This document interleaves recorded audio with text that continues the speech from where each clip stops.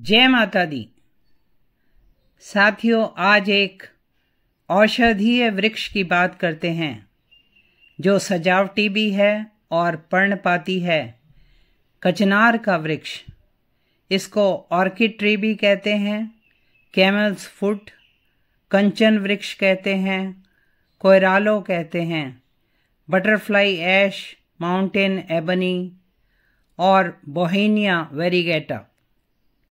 कचनार का वृक्ष दक्षिण पूर्व एशिया का मूल निवासी है और हिमालय की निचली सतहों में भी पाया जाता है।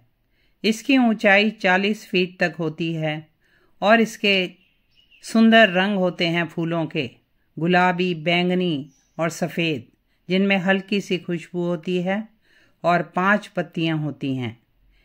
इसकी हरी पत्तियाँ तितली जैसी शेप की होती हैं। कचनार के पौधे को बीजों से कटिंग से और ग्राफ्टिंग से बढ़ाया जा सकता है। कचनार के वृक्ष को पूरी धूप चाहिए और पोरस मिट्टी चाहिए होती है। इस पौधे के सभी अंग खाने योग्य होते हैं।